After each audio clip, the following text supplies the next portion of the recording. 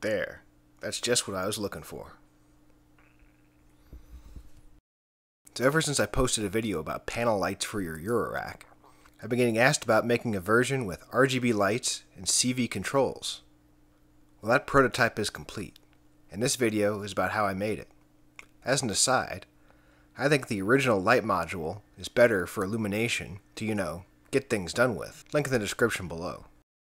This RGB module is more about looking cool first and being functional second. That said, let's make it.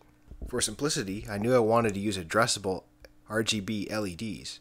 Generally, these come in two flavors, NeoPixel and DotStar. NeoPixels are a little cheaper and only need one wire for communication. However, the communication protocol is very computationally expensive. DotStar, on the other hand, costs a little more, need two wires for communication, but you can use the SPI port, available on almost any microcontroller, to make communication simple and easy. While I have used NeoPixels in the past, for this project I chose DotStar. Now let's look at how it works starting with the light modules. Data and clock come in here, chain through the DotStars and exit here. This setup allows modules to be cascaded together in series for lighting effects that propagate through several modules. Modules are powered by 5 volts, which will be supplied through a 16-pin Eurorack power connector. The layout for etching looks like this, the power connector being of surface mount type and hot glued to the back of the module. Next let's look at the control module. DotStars don't do anything by themselves, so you're always going to need some kind of a microcontroller to run the show. For those of you playing at home, I use a PIC 18F13K22, but any Arduino or Atmel microcontroller could pretty much do the same thing. These switches here control the mode of operation, from a simple all LEDs the same for illumination to moving patterns that are more for entertainment. Brightness of the LEDs are controlled by these potentiometers here, one for each of the R, G, and B channels. The three jacks here are used to connect analog signals to the module and override the potentiometers for light brightness. Use stereo jacks here so that I can use the ring on the jack to detect when a patch cable is inserted. Patch cables only have a signal at the tip and ground out the ring on a stereo jack connection. This can be detected by the microcontroller. The analog signals then pass through an op amp and through this crude rectifier before being read by the microcontroller. This allows for both an AC or positive DC signal to be used as an input. The microcontroller then does its analog to digital magic and sends out the appropriate commands to the DotStars through its SPI port, which is wired to a jack here. This way, a standard patch cable can be used to connect this module to the light modules, and the light modules can be connected together with additional patch cables. Now let's build it. I start with laser etching the light modules and the faceplate for the control module.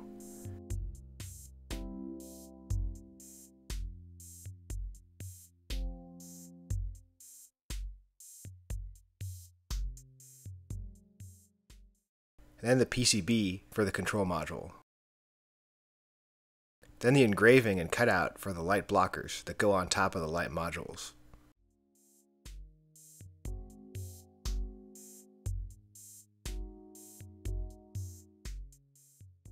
To cut out the PCBs, I upgraded to a diamond blade for my micro table saw. They should really just charge $40 more for the saw and include this blade because it actually works.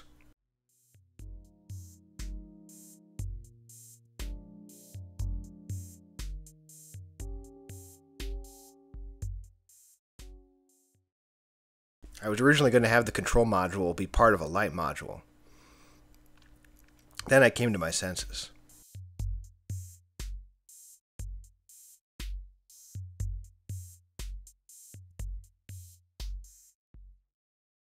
Now for a quick dip in the ferric chloride.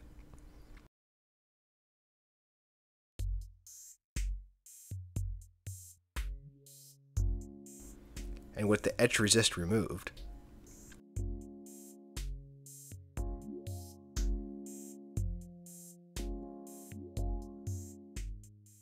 Now to assemble everything.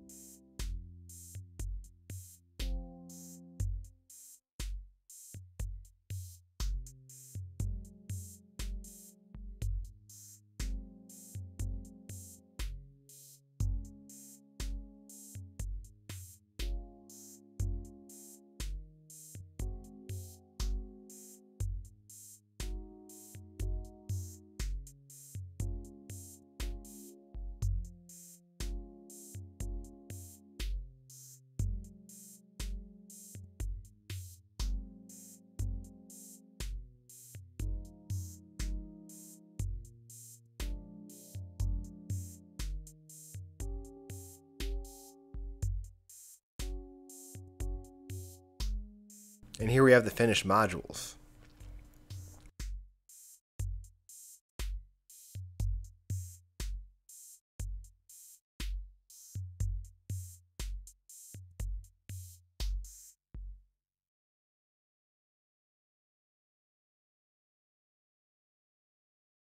Time to add software to the control module. And after a quick test, mount everything in the rack and wait until it gets dark. And let's see what this creation can do. In illumination mode, all the lights are the same brightness, controlled by the potentiometers.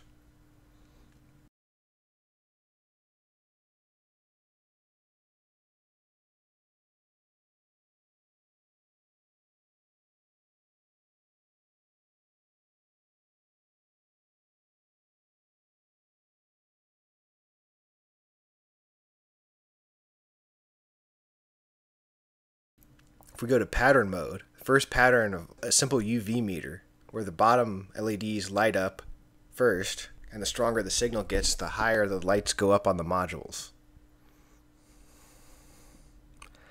The second pattern is chase mode, where the intensity of the input signal propagates down the modules over time.